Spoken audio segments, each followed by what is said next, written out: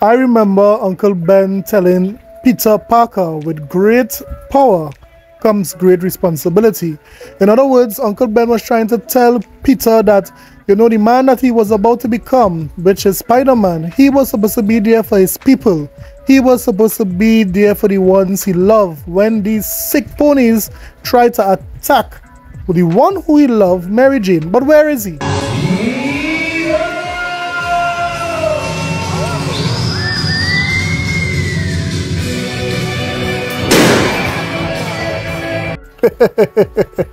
there he is. He's busy spinning on the roof while Mary Jane is being attacked by these ponies coming and going. Yes, the actress that played uh, Mary Jane um, in Spider Man is being attacked by the PlayStation fans. But why?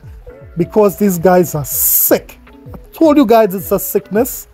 And we'll also have another story talking about how, um, you know, the PlayStation community is basically begging for Xbox game at this point. And we'll also talk about some of the weak jellyback Xbox fans who has, you know, become so emotional because, um, you know, they are hearing the rumors.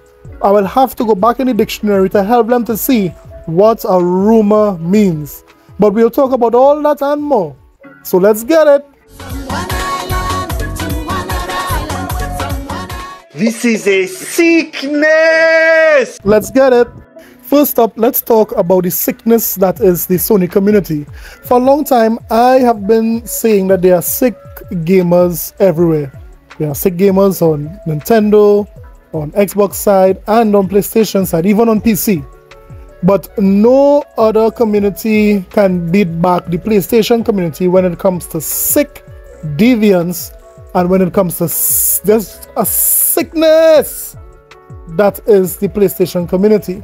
And you know, there's so much proof of this. We spoke about how they uh, threatened Alanah Pierce, how they threatened Austin Evans. Um, just recently, I was reminded that they sent the God of War devs, you know, explicit pictures simply because they were not giving them a release date wrap your head around that. Grown men is sending the devs of God of War uh, pictures, explicit pictures, because they did not get the release date of God of War Ragnarok, um, you know, right before it came out. And now they are doing it again, this time with the actress that played uh, Mary Jane. Um, listen as uh, Kotaku give us the insight as to what is going on with these sick ponies. Spider-Man's MJ face model asks fans to stop stalking and harassing her. Stephanie Tyler Jones posted on Instagram, please respect that I am a human being. You see how this article started off? You, I told you guys that these ponies are sick. They are stalking this woman. Stephanie Tyler Jones, the woman behind Mary Jane Watson's face in Insomniac's Spider-Man games, recently said she's received harassment from fans, including phone calls to her workplace where callers demand to speak to her. In a public post on social media, she asked these fans to stop. In the original Marvel Spider-Man on PS4 and its subsequent ports, spin-offs, and sequel, Jones provided the face model of Peter Parker's famous girlfriend, MJ. While Laura Bailey provided the voice of MJ, it was Jones' face that inspired the character's in-game model. As a result of this, Jones has become well-known in the Spider-Man community. But recently, some fans went too far, according to Jones, and started calling her day job and leaving voicemails that made her feel unsafe and uncomfortable. On January 8, Jones posted a short, public letter on Instagram detailing what happened and asking fans to respect her boundaries and to stop messaging her about MJ and Spider-Man. Over the weekend, some followers crossed boundaries, Jones said. One even went to the extent of calling my workplace and leaving multiple voicemails wanting to speak with me and requesting I call back, which is unacceptable and considered stalking. While she does appreciate the positive reaction her version of MJ has received from players over the years, she is no longer actively auditioning, acting, or modeling. Instead, she now works in skincare, which is why, she asked fans to respect her career change and not message her skincare-focused Instagram or job. Wait, wait, wait. Are you telling me that these ponies were so sick that they made this woman go into skincare? What, what, what's going on here, man? This woman had a whole career, uh, you, you know, um, going into video games, and this pony ran her out, and now she's dealing with skin? What's going on here? Don't you guys have wives and mothers and sisters? These ponies, you guys are really sick. My skincare page is not for Spider-Man or MJ fans, Jones posted. Bottom line is that I came into work this morning and immediately felt unsafe and uncomfortable hearing those voicemails. Jones ended the letter asking for fans and players to respect that I am a human being trying to make a living just like you, and, kindly, asked them to stop messaging her. Messages will not be answered, Jones said. I will block you if you make me feel uncomfortable and you can unfollow me if this disappoints you. While what happened to Jones is terrible and frustrating, it's sadly a common occurrence in video game communities and fandoms.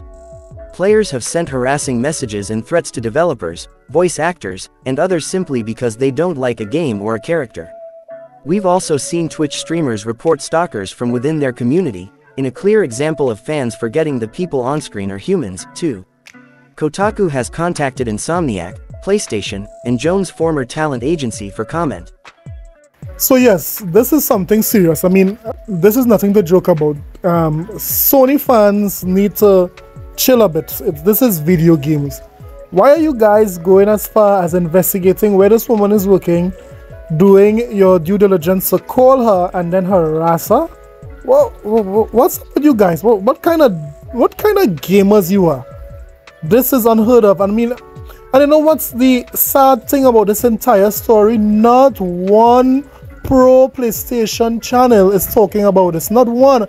I have not seen not one of them telling their fans that if it is they do that, um, you know, they are not cool with it. They, they will not support them. They will not sh shout them out.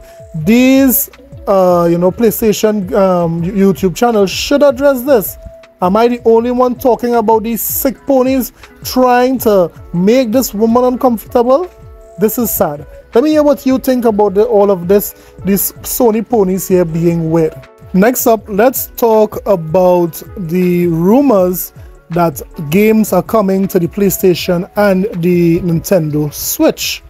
Now, I can't believe I have to actually do this, but sometimes um, when it is you guys um, are not sure about the meaning of certain words, you guys could go to dictionary.com. Let's look at this, the meaning of this word here. So according to dictionary.com, the meaning of rumor is a story or statement in general circulation without confirmation or certainty as to facts. Yes, there you have it. It's simple like that you guys could have just type up um, you know dictionary.com and find out the meaning of the word rumor instead of acting like this then suddenly it'll be oh it's on playstation 2 because this is what they do and i'm just sick of it i don't even want to hear this like if mm-hmm. phil is listening just stop enough right.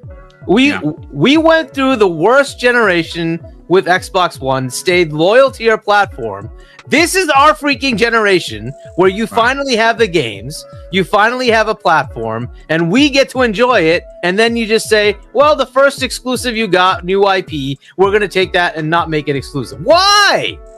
You can hear the emotion in this guy's voice. You can hear the raw, you know, emotion um, just because of a rumor. You know, if it is he would have just go to uh, dictionary.com, he would have you know, he might have not been so emotional um, from this rumor. Yeah. What is the point? Why do this? Oh, we want to expose it for the next. No, I don't care. I don't even want to hear any more excuses.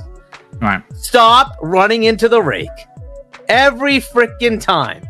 You get good news, good news, and then thump. Why? Just yeah. stop and then they have to reset. So that was the state of some Xbox uh, fans not too long ago. Jellybacks, I call them jellybacks. But so some of these ponies are, um, you know, making a victory lap. That here, what Xbox is going third party, and they take this rumor and they, you know, equated to what the CFO said not too long ago that they will be bringing third-party games to, you know, uh, other platforms. But Microsoft have been doing that for years prior to the CFO saying that. So what's new here? In addition to that, we could remember what it is Phil Spencer said. Listen up.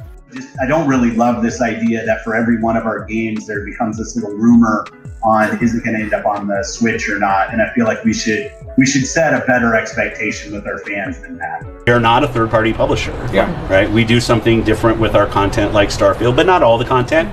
Obviously, Minecraft ships on, on other platforms, mm-hmm. um, and we, we enjoy doing that as well. So here lies the difference. This is what we consider a fact. It came from the horse's mouth, which is the uh, CEO, the boss himself um, of Xbox, Phil Spencer. He said that they are not third party. He said that you know it would have exclusive content on the box. He said that here what there will be certain games coming to the other platforms. Um, you know, Hi-Fi Rush, uh, Thieves would be a perfect fit for Nintendo.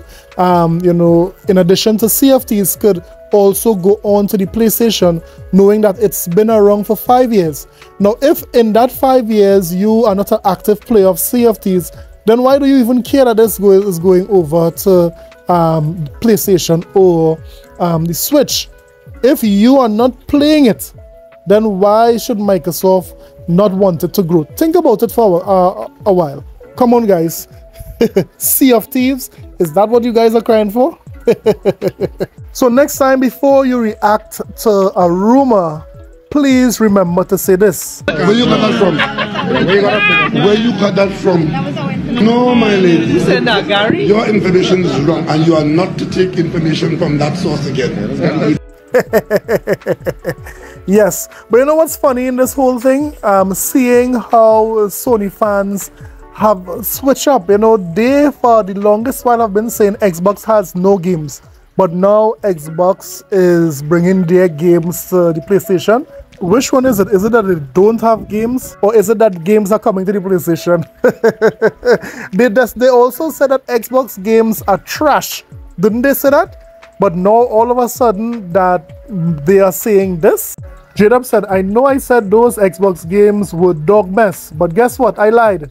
They are great, awesome games, and can't wait to play them on my PlayStation 5 like Phil Spencer intended. Yes, so we're seeing these guys are out here tweaking. These guys are out here begging for Xbox games. They even did a mock-up of, you know, um, Xbox games going to PlayStation Plus. Look at it here.